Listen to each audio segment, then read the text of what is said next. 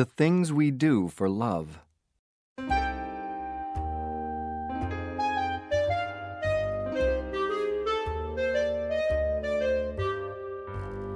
As a boy, Joe Larrabee was famous in the town in Middle America where he lived because he could paint beautifully.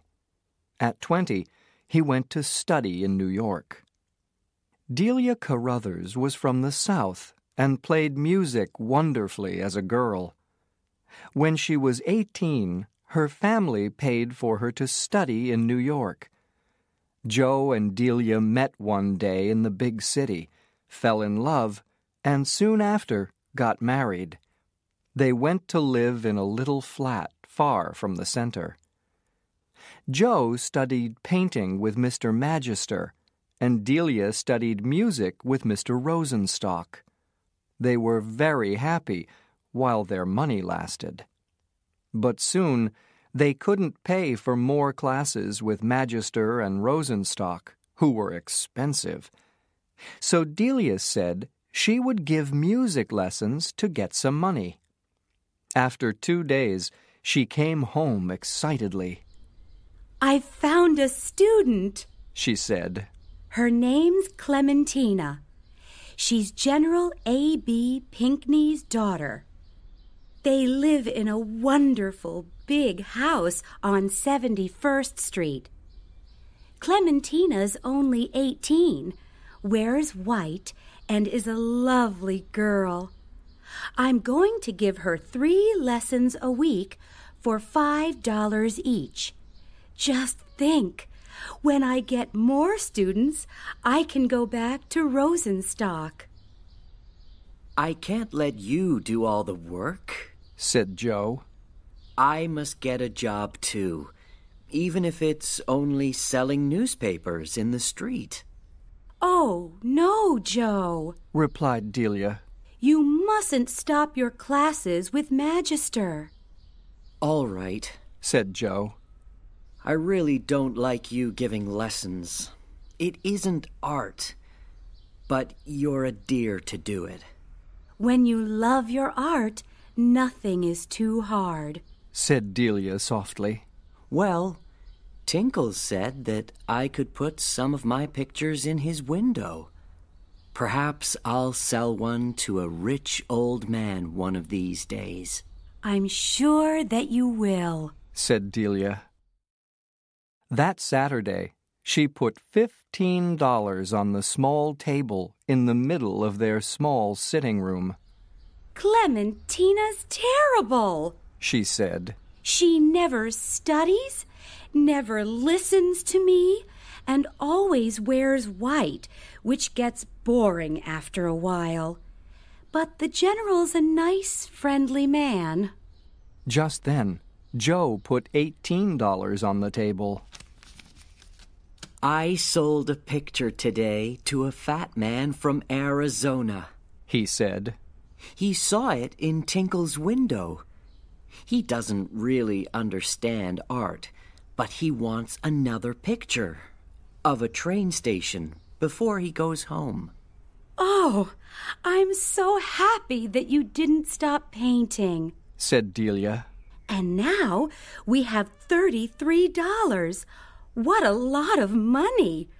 We can have a really good dinner tonight.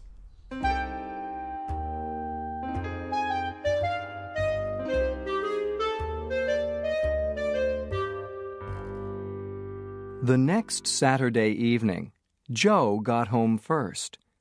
He put $18 on the table and washed what looked like black paint from his hands. Then Delia came home. Her hand had some white cloth around it, and her face was dark with worry. What happened? asked Joe. Oh, Clementina wanted a hot cheese sandwich in the middle of her lesson. Strange girl. Unluckily, lots of hot cheese fell onto my hand and hurt it terribly.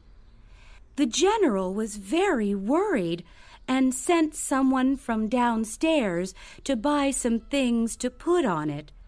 but now it doesn't hurt so much. Then she saw Joe's money on the table. Did you sell another picture? Yes, to the man from Arizona. But what time did you hurt your hand? It was five o'clock when the iron. I mean, when the cheese burnt me. Sit down, Delia, said Joe kindly. And tell me where your money really comes from. Delia began crying. I couldn't find any music students, she said.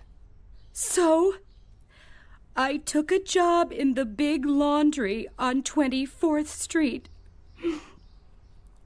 I told you stories about the General and Clementina to stop you feeling bad about my work. Then today, another girl at the laundry put a hot iron on my hand, and I thought of that hot cheese story on the way home. Please don't be angry. But how did you find out that my stories weren't true? Well, said Joe, at five o'clock I had to send up some oil and cloth for a woman in the laundry upstairs after she burnt her hand on an iron. I'm working downstairs in the engine room. I started there two weeks ago. So you didn't really sell? My buyer from Arizona and your General Pinkney are both works of art, but not really music or painting. They both laughed. when you love your art, nothing, began Joe. But Delia put her hand over his mouth to stop him. No, she said. It's just when you love.